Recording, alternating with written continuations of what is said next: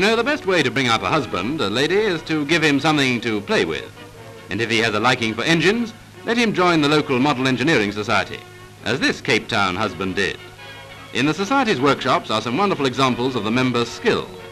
They study the mechanics of the prettiest jobs and reproduce them at a fraction of their original size. And they all work, models as well as husbands.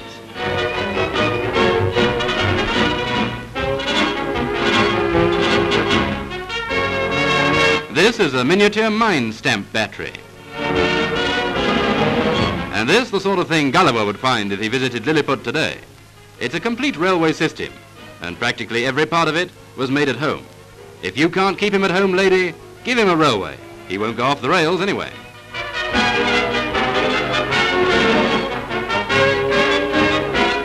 Another grand exhibit is a steam engine that burns ordinary coal and is able to haul a weight of 250 pounds. The two and a half inch track runs round hubby's garden to save him running round it. If he wants to see how the birds are enjoying his strawberries, he goes by train. No walking to the runners, he's one of the riders.